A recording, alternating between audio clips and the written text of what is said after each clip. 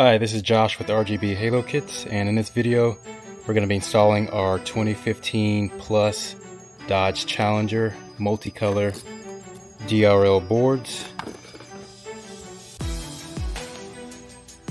Step one, you're going to want to open your headlights. You can do this by using a conventional oven or heat gun. In this step, we're going to be using a conventional oven, and we're going to preheat the oven to 250 degrees and we're gonna bake this headlight for 15 to 20 minutes.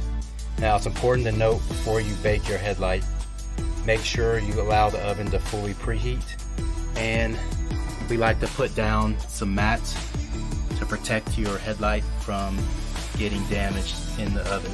You can also use aluminum foil if you don't have any baking mats.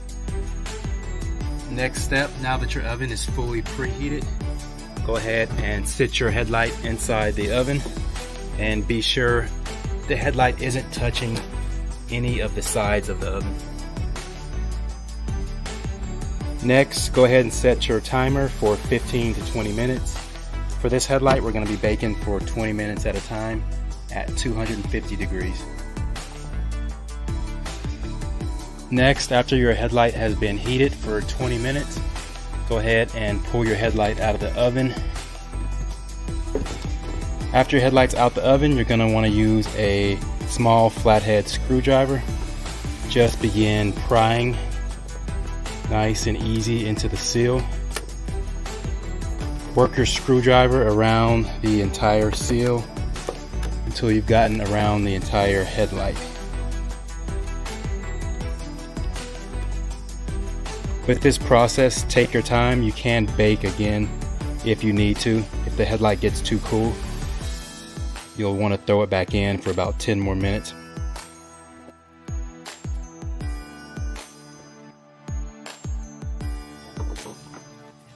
Okay, we're just going to continue prying and go around the headlight.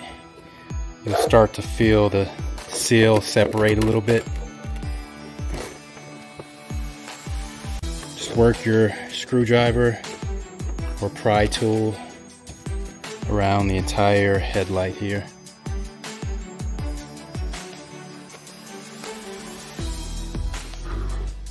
Rotate the headlight as you work.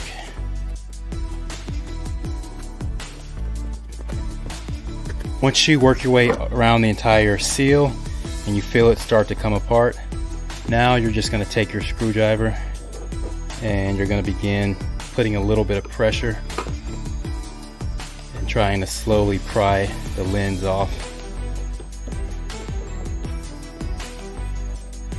Once you get a little bit of separation, you can kind of use your flathead or you can use some type of pry tool which you can get at Home Depot or Harbor Freight and you can start creating a little bit of separation between the lens and the housing.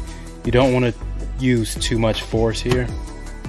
You don't want to force it, just nice and easy. You can see, there we go. Headlight comes right off.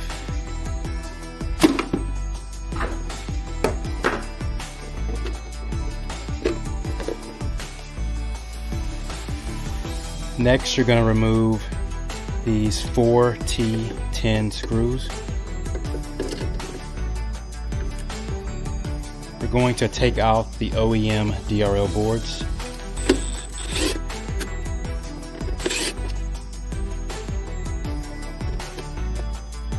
You also need to remove the 7 millimeter screws as well.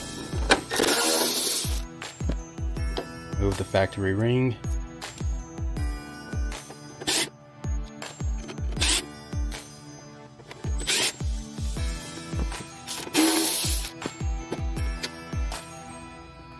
Next, we're going to remove this faceplate. So to remove this, we're going to remove the remaining 7 millimeter bolts here.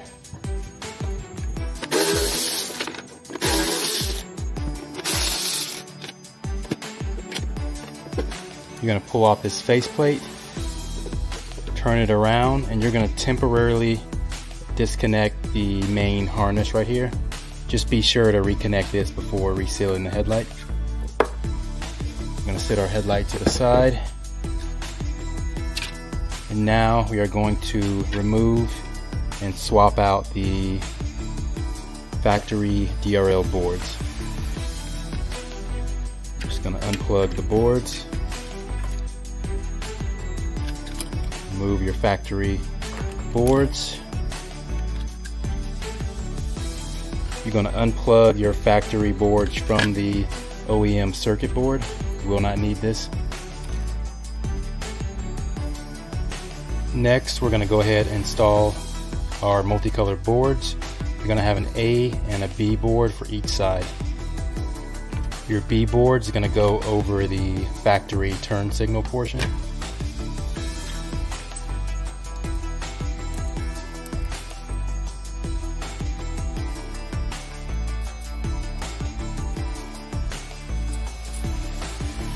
Repeat the process for the other side.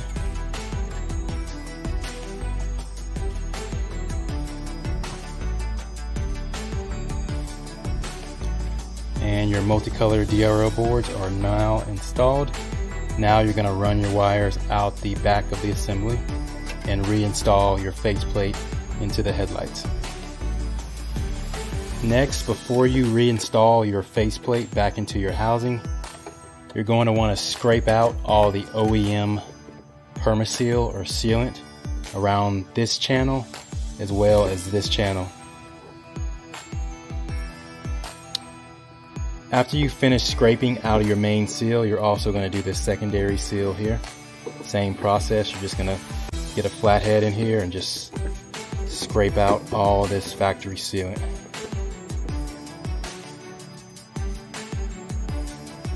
Okay, after you've done scraping your sealant out the channel, you're to go ahead and refill the channel with our butyl headlight sealant.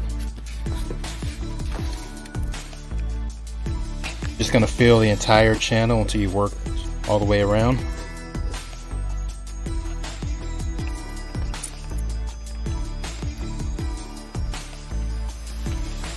Repeat the same thing for this smaller inner channel.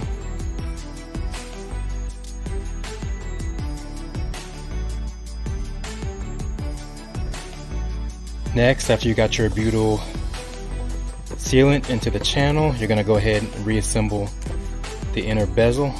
So first things first, we're to go ahead and re-plug plug in our headlight plug here. Make sure that snaps in. Now we're to run our wires through the back of the headlight.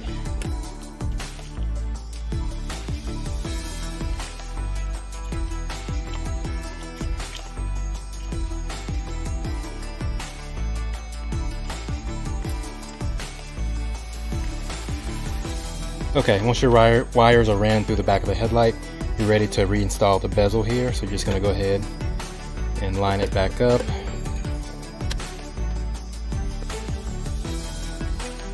And you're gonna reinstall the five seven millimeter bolts here.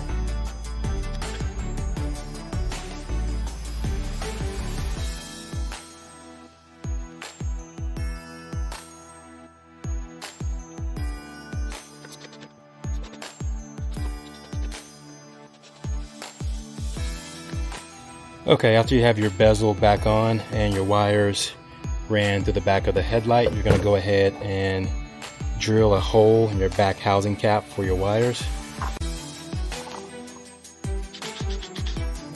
Once you have your hole drilled, you're going to run your wires through the hole and then you can reseal this using JB Weld or some type of thicker epoxy.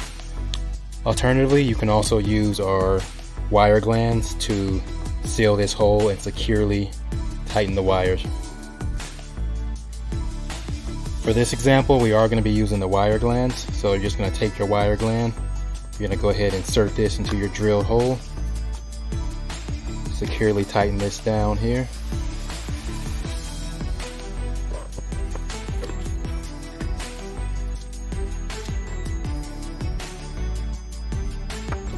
You're just going to take your wires, run them through the gland.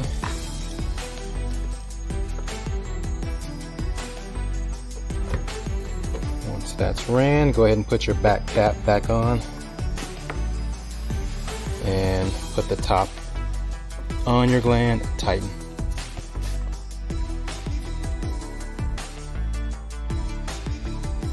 You can also depin these and use a smaller gland in some cases.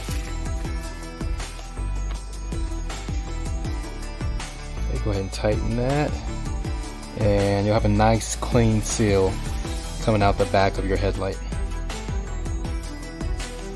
Okay, before you reseal your headlight, go ahead and get an air duster, blow out your headlight here and your lens, as well as clean up any spare old sealant that's still attached to the lens here. So just get a flathead screwdriver. You can also use a razor blade and you're just gonna scrape off some of this old sealant here.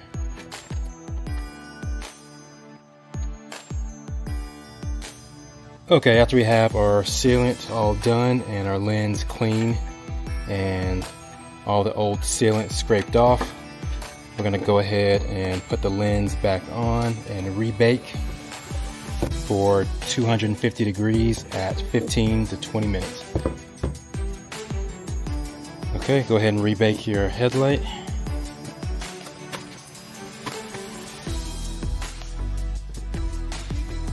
Okay, go ahead and remove your headlight from the oven after you're finished baking. Okay, once you get your headlight out of the oven, go ahead and push the headlight lens back onto the housing. And we recommend using just some C-clamps or small clamps to go ahead and clamp your lens securely onto the housing. You're going to want to clamp all around the headlight and then let this dry for about 30 minutes.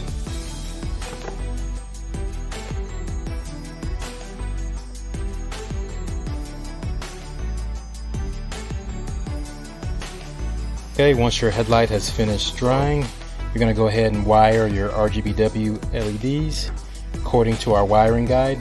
So make sure you take your LED drivers the LED drivers plug into the LED product. Be sure not to plug the LED product straight into the controller. It does have to go through the LED driver first. This regulates the voltage going into the LEDs.